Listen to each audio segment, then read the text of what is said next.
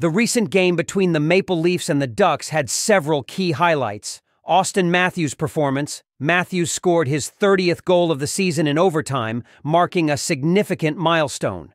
His goal, a one timer from the right face-off circle, was his 13th shot on goal in the game, showcasing his offensive dominance and consistency. John Tavares' crucial contribution. Tavares, the Maple Leafs captain, scored a vital power play goal in the third period. His goal, coming off a rebound, was key in tying the game and setting up the team for the eventual win. Defensive struggles for the Ducks. The Ducks faced challenges in containing the Maple Leafs offense, particularly in the third period where Toronto outshot Anaheim significantly.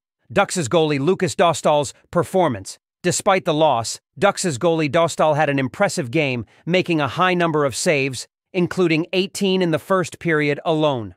Maple Leafs team play. Toronto's overall team play was commendable, with their ability to maintain pressure and create scoring opportunities, especially in the latter stages of the game. These highlights demonstrate the high skill level and competitiveness of both teams, with the Maple Leafs' offensive strength and key individual performances proving decisive in their victory.